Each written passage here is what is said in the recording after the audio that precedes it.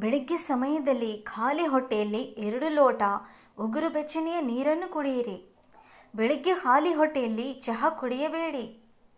ದಿನಕ್ಕೆ ಎಂಟರಿಂದ ಹನ್ನೆರಡು ಗ್ಲಾಸ್ ನೀರು ಕುಡಿಯಲೇಬೇಕು.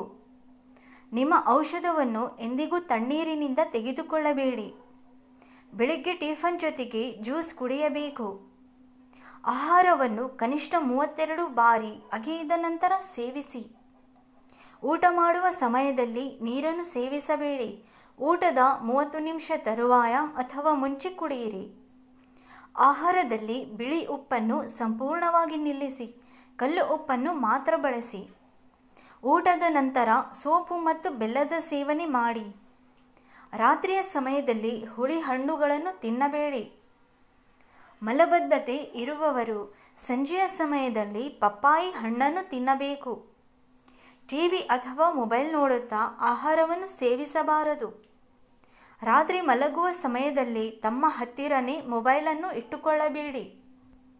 ಬೆಳಗಿನ ಟಿಫನ್ ಮೊದಲು ಮತ್ತು ರಾತ್ರಿ ಊಟದ ನಂತರ ಕನಿಷ್ಠ ಐದುನೂರು ಹೆಜ್ಜೆ ನಡೆಯಿರಿ.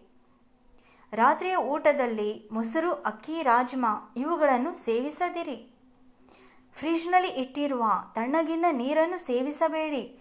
ಯಾಕೆಂದರೆ ಕುಡಿಯುವಾಗ ತಣ್ಣಗೆ ಇರುತ್ತೆ, ದೇಹದ ಒಳಗೆ ಹೀಟನ್ನು ಉತ್ಪತ್ತಿ ಮಾಡುತ್ತದೆ. ರಾತ್ರಿಯಲ್ಲಿ ಹಲ್ಲುಜ್ಜಿ ಒಂದು ಲೋಟ ನೀರು ಕುಡಿದ ನಂತರ ಮಲಗಿಕೊಳ್ಳಿ.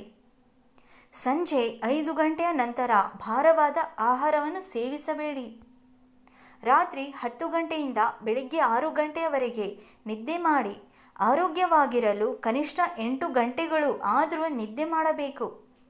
ಸರಿಯಾದ ನಿಯಮಗಳ ಪಾಲನೆ ಮಾಡಿ ಆರೋಗ್ಯವಾಗಿರಿ. ಈ ವಿಚಾರ ನಿಮಗೆ ಇಷ್ಟವಾಗಿದೆ ಅನ್ಕೊತೀನಿ. ಇಷ್ಟವಾದರೆ ಒಂದು ಲೈಕ್ ಮಾಡಿ, ಕಮೆಂಟ್ ಮಾಡಿ, ಶೇರ್ ಮಾಡಿ. ಮತ್ತು ಚಾನಲ್ನ ಸಬ್ಸ್ಕ್ರೈಬ್ ಮಾಡ್ಕೊಳ್ಳಿ. ಕೇಳಿದ್ದಕ್ಕಾಗಿ ಧನ್ಯವಾದಗಳು.